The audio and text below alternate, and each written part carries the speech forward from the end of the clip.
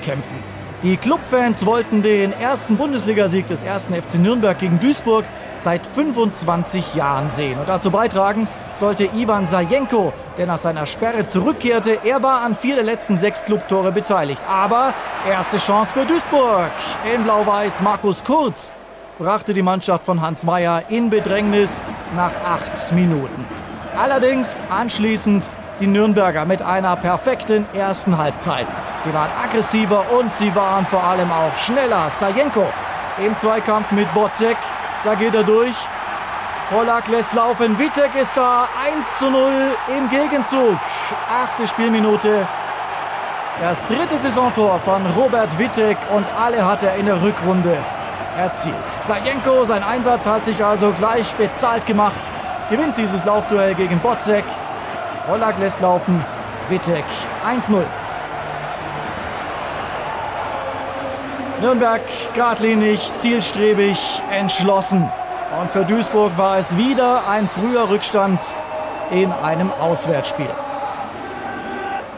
Beim MSV fehlten sechs Spieler. Ganz aktuell hatte sich Dirk Lottner, der Mittelfeldstar, abgemeldet. Und ansonsten waren sie zweikampfschwach. Nürnberg, wie gesagt, die aggressivere Mannschaft. Das ist wieder Ivan Sajenko und er sieht Robert Wittek. 2 zu 0 nach einer Viertelstunde. Doppelpack für Robert Wittek. Und wieder die Vorarbeit von Sajenko. Aber ganz wichtig, den Zweikampf, den Pollack im Mittelfeld gewinnt. Und oben winkt Wittek, bekommt den Ball und schließt ab. Wittek unter der Woche beim Länderspiel mit der Slowakei in Frankreich. Erstmals als Kapitän. Gewann mit den Slowaken 2 zu 1 und nahm den Schwung vom Länderspiel mit.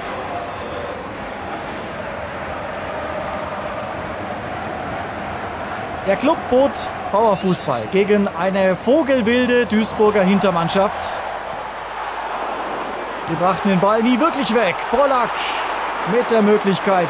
Abgefälschter Ball. Auch er machte ein großes Spiel in der ersten Halbzeit. Duisburger Hintermannschaft umformiert. Aygün spielte Libero hinter einer Dreierkette, aber Sicherheit brachte das nicht. Der anschließende Eckball von Wittek. Und wieder haben die Duisburger Schwierigkeiten, sich zu befreien. Wittek, fast wäre es nach 20 Minuten schon ein Hattrick geworden. Wittek spielte wie aufgedreht. Koch verhinderte Schlimmeres. Etwas mehr als eine halbe Stunde vorbei und nun eine typische Szene für das Duisburger Abwehrverhalten.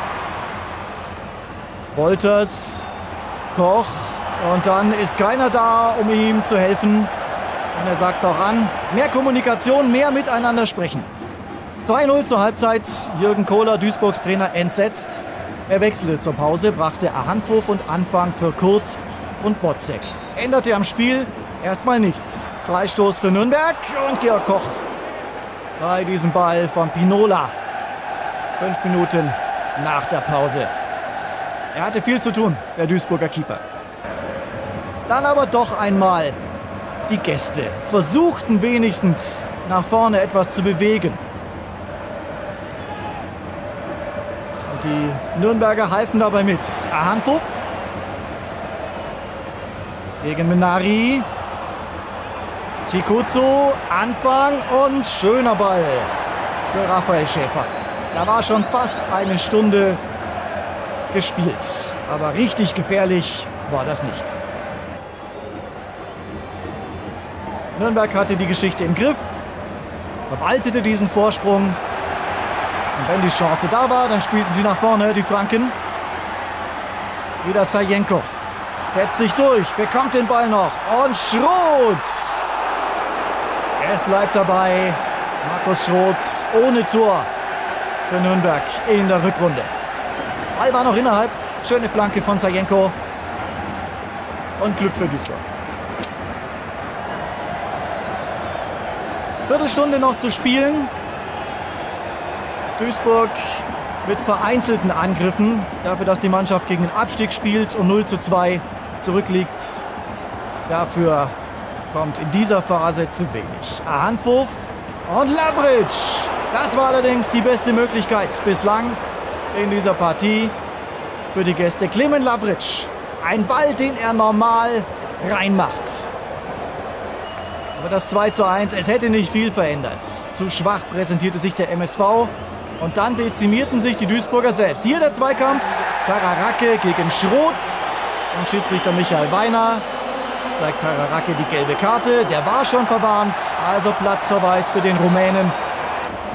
Sicherlich eine harte Entscheidung bei diesem Foul. Acht Minuten Verschluss war das. Und die Leiden von Jürgen Kohler, sie waren noch nicht beendet.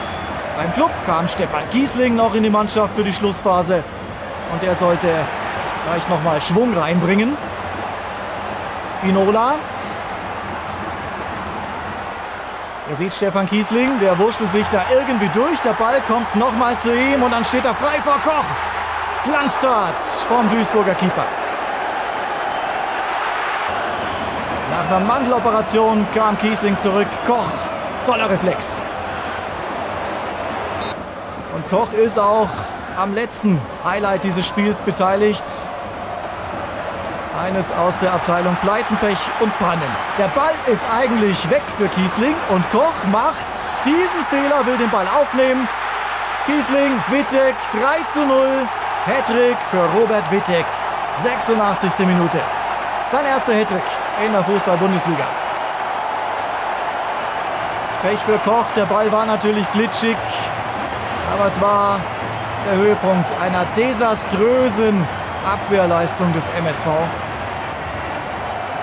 Giesling holt sich den Ball uneigennützig, spielt er zu Wittig und der trifft zum 3 zu 0 Endstand. Das ging auch in dieser Höhe absolut in Ordnung. Der erste FC Nürnberg war klar besser, machte in der zweiten Halbzeit etwas langsamer, sonst wäre das Ergebnis noch deutlicher ausgefallen. Jubel also in Nürnberg. Nach diesem Sieg beträgt der Abstand zu Duisburg vier Punkte und der MSV machte nicht den Eindruck einer Mannschaft, die den Klassenerhalt noch schaffen kann.